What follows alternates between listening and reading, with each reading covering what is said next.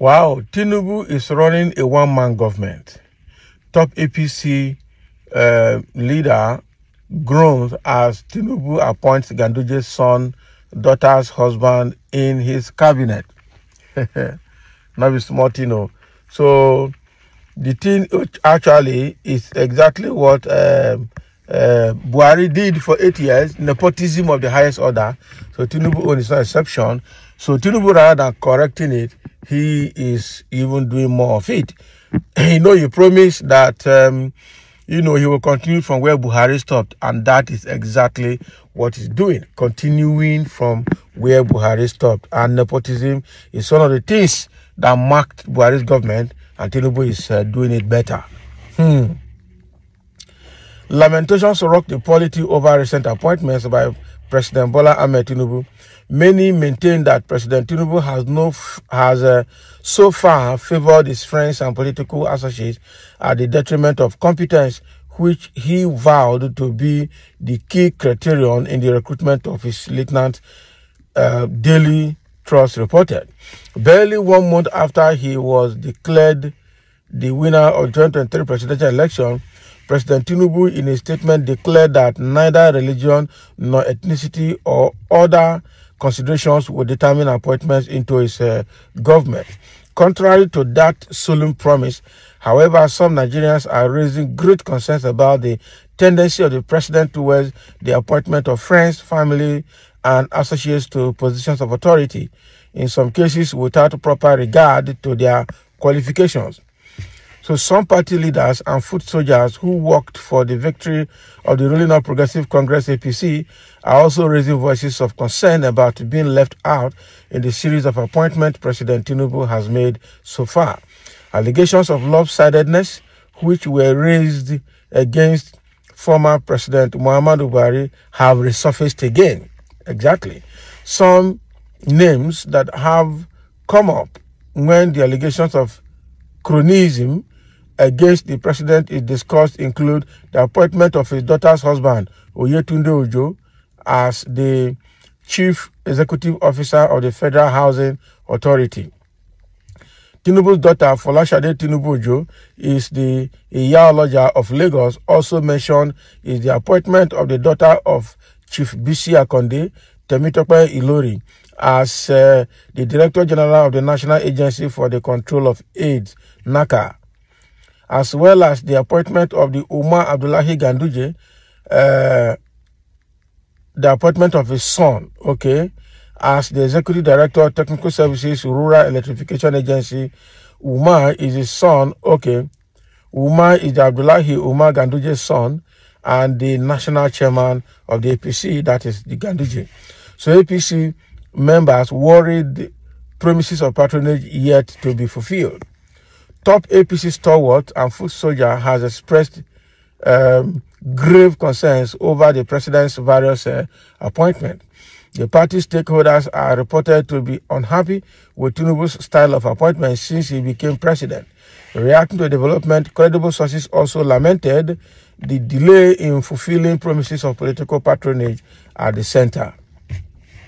APC leader says Tinubu's chances in 2017 so, according to a senior party leader who pleaded anonymity, the president's 2027 ambition might be in jeopardy since he is now seen as a man perceived to be running a one-man show in Abuja and does not care about party members from states who got votes from him. So most of those who showed unwavering loyalty to him with the hope that their supporters would be uh, rewarded with federal appointments are disappointed, the source said. Hmm. So another source familiar with the working around the presidency said the president had asked governors to submit names for chief executive officers of agencies, which they did, but he failed to act on those names till date. Hmm.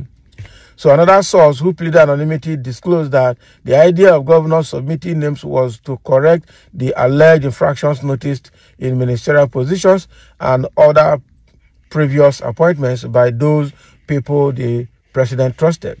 So it is now evident to those governors and other stakeholders that the president has dumped the list he asked them to submit as it is now obvious that he is running a one-man government with his kinsmen from Lagos and Osun, he lamented.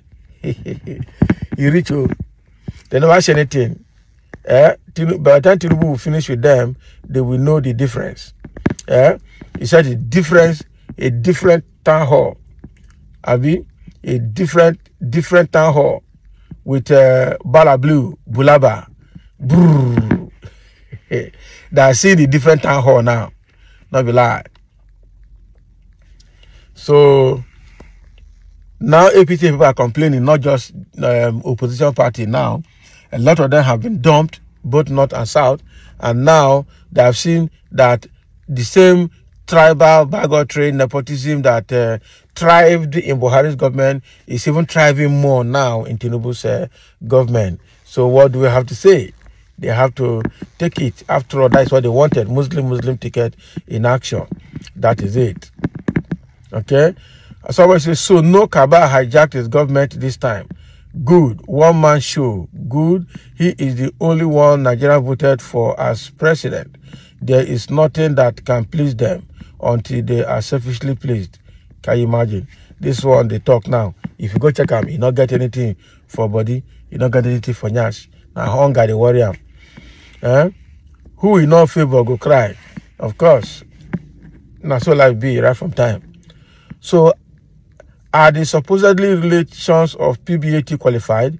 If they are qualified, I sincerely think that there is no point uh, begrudging him uh, for appointing them. Okay, is it a sin to be related to people in government? Should they be denied of opportunities because they have a link with some at the top? Let's be fair in all things. Seek your own opportunities and stop the campaign of calumny. Please, it is blackmail and quite cheap. Can you imagine what somebody is saying now? And somebody is now asking him, Will your emotional blackmail of ardent supporters of Tinubu who through thick and thin gave out their life savings to be able to clear off the crime of nepotism? Hmm. Even if they are qualified, are they the only Nigerians that are qualified? Have you ever heard of the word nepotism? Why do we have Federal Character Commission? Finance Minister Yoruba, CBN Governor Yoruba, Accountant General Yoruba, EFC Chairman Yoruba. You people want to steal money and cover it up. Even in the security agencies, Chief of Army Staff is Yoruba and Inspector General Police is Yoruba. Waiting waiting. And somebody said, please, this is his time. Allow him to breathe. Can you imagine? Are they not qualified? It's not about being qualified. Are they the only qualified people in Nigeria? That should be the question. Are they the, with the best of CVs in Nigeria with huge Nigerian population? That should be the question. So let's get it right. And somebody said that was what Buhari did, and Tinubu said he will continue, he will follow his footsteps.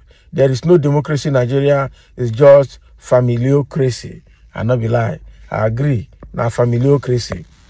Absolute familiocracy. So thank you for listening and uh, let's have your comment.